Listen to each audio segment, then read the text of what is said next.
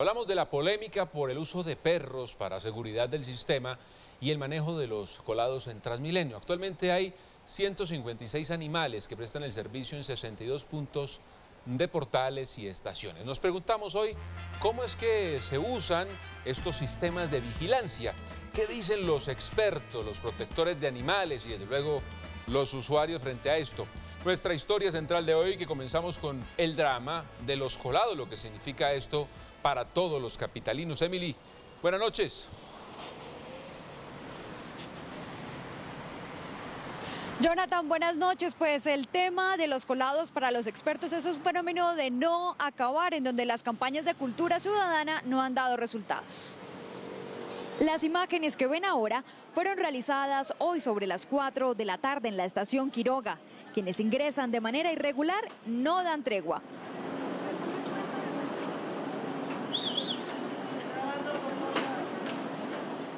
El tema de los colados desafortunadamente creció en los últimos años. El porcentaje que va a arrojar Transmilenio, alrededor del 15%, reflejan de que la infraestructura que se ha construido no ha logrado contener a los colados en algunas estaciones. Según la encuesta de percepción sobre la calidad del sistema de transporte público de la Cámara de Comercio de Bogotá, 8 de cada 10 personas que utilizan Transmilenio manifiestan haberse colado. Quienes manifiestan haberse colado aducen el 59% al costo de la tarifa y un 31% a inconformidad con el servicio. Las campañas de cultura ciudadana desafortunadamente no han dado el resultado esperado y desafortunadamente también en algunos puntos del sistema Transmilenio pues parece algo cotidiano.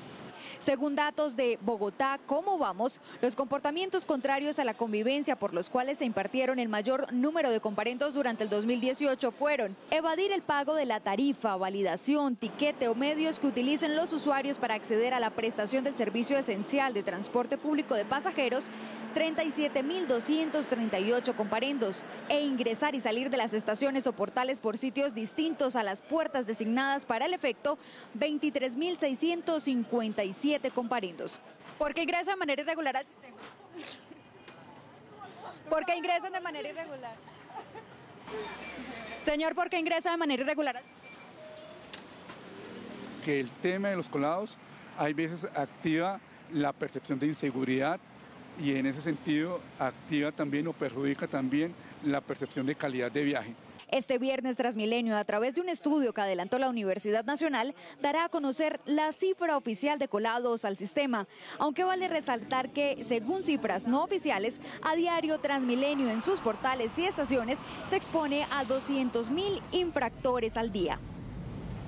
Bueno, aquí podríamos mandarle desde Noticias a Emily Acevedo a las estaciones donde más tenemos colados. Yo creo que eso funcionaría muy bien.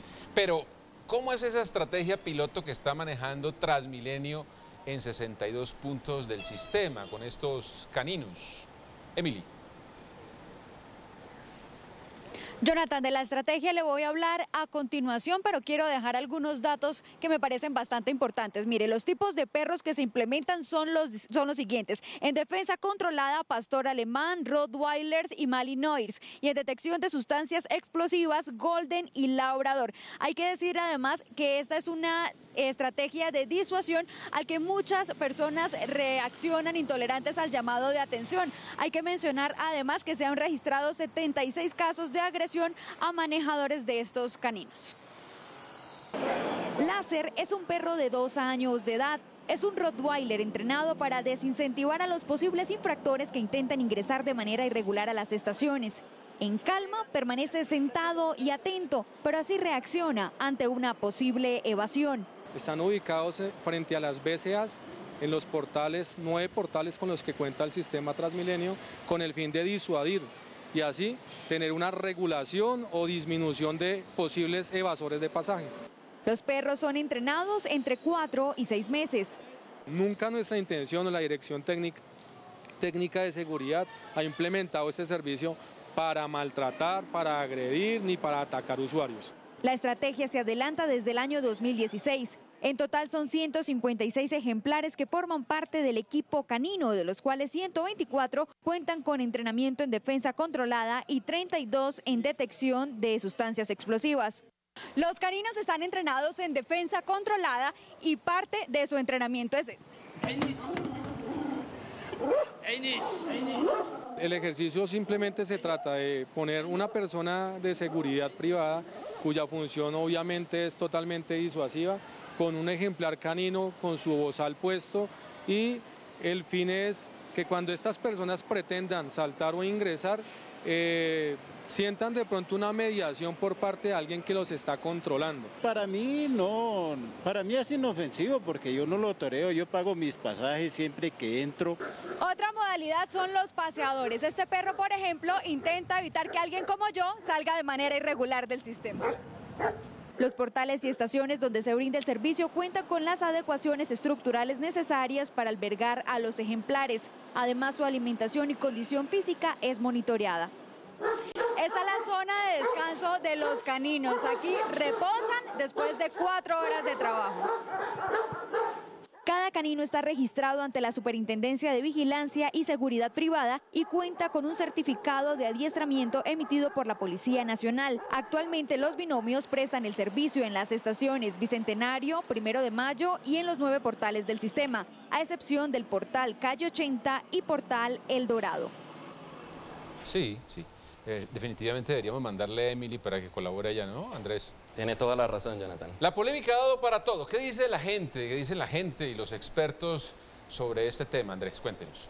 Jonathan, buenas noches y a todos los televidentes. Los expertos aseguran que se tienen que implementar otro tipo de estrategias para evitar que las personas ingresen de forma indebida al sistema de transporte.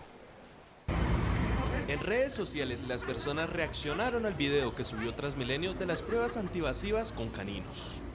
A Transmilenio se le borró este video en donde muestra que entrenaron perros potencialmente peligrosos para atacar a ciudadanos. Esto es absurdo. Ellos no deben ser armas en contra de la gente. Mientras Transmilenio ahora se le ocurre la gran idea de amedrentar con perros que explota. El sistema informativo habló con diferentes expertos y hablaron sobre esta medida que se viene implementando desde el 2016. Si ellos tienen algunos caninos para controlar la seguridad me parece muy bien. Me parece que en todos los sitios públicos, como en los centros comerciales, aeropuertos, en, en parqueaderos, en universidades, hay control. Los protectores de animales están en contra de la implementación de seguridad con perros para evitar que los ciudadanos ingresen de manera indebida al sistema de transporte el hecho de seguir eh, continuando con esa cadena de explotación que bien eh, criticada ha sido, de, digamos, utilizar los animales para seguridad con todo, el, eh, digamos, la falta de bienestar que eso implica para esos animales. En temas de seguridad, aseguran que los caninos no generan un cambio en la cantidad de personas que no pagan su pasaje y se tienen que crear espacios de aprendizaje para mejorar la cultura ciudadana tenemos dos estaciones con puntas de salida, donde por minuto se calcula que hay unas 700 personas. Imagínense en una masa de habitantes, personas, hombres, contra dos animales. Creo que son más los riesgos ciudadanos que se pueden correr. Los usuarios también hablaron sobre este tema. Me parece un poco drástica, pero pues igual aquí la cultura ciudadana no es que sea la mejor. No estoy de acuerdo y en parte sí porque así por lo menos permiten que haya más seguridad, digamos que haya menos accidentalidad.